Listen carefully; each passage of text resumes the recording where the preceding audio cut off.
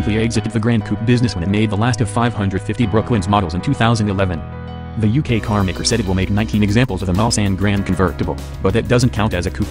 So when a US Mulsanne owner wanted his Bentley with a roof but a touch less four-door wide, he went to Italian coach builders Ares Design. And not only did Ares do the thing, they did it magnificently. The resulting two-door is called the Ares Design Coupe for the Bentley Mulsanne, and the first of them was just handed over in Beverly Hills in time for a Pebble Beach appearance. Modena-based Ares started with a three-dimensional scan of the sedan, then reworked that CAD file into the coupe they sought by changing just about everything behind the A-pillars. A reprofiled roof replaces the old one, and it falls into a new backlight and longer rear decklid. The engineers moved the B-pillars rearward to install longer front doors, and fabricated new side impact protection for the portals and rear quarter panels. New chrome surrounds on the windows maintain the look as if from crew. Yet because the roof and doors are made from carbon fiber, they contribute to the coupe's 992-pound overall weight loss compared to the donor four-door. Inside, Ares replaced the front seats with more rakish thrones, redesigned the interior trim panels to flow with the body style, and matched the wood and leather as if all were factory original.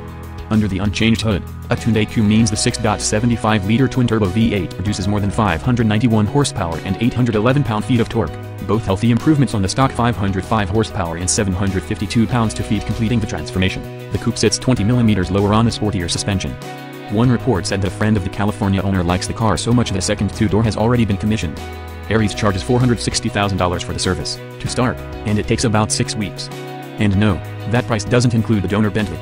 However, that's a lot less than Bentley would charge to make the swap, since the car maker won't make the actual car.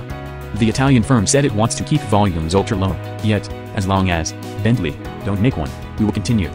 Although we haven't spoken much of Ares here outside of their Tesla Model S wagon, the firm led by ex-Lotus boss Dany Bahar has kept busy in its four years of operation. Previous works include a 1964 Corvette Stingray Remod, 53 Land Rover Defenders fitted with V8 test and hardcore backcountry gear, the carbon fiber-bodied Mercedes AMG G63 X-Raid, a 964 Series Porsche 911 Mod, and that Tesla. The company says its first two-wheeled offer will arrive soon, based on the BMW R9T, along with a Ferrari GTC4 Lusso reworked into a Ferrari 412, and it's already built a prototype of a Porsche 911 GT3 RS Targa. Due for imminent release is the Lamborghini Huracan-based Project Panther, which is a modern Tomaso Pantera. Business at Ares is so good that the firm says it will open two more studios go to with its current Los Angeles branch, one in Miami and one in Vegas, in spring next year. Looking at that Bentley Mulsanne coupe, it's not hard to see where the success comes from.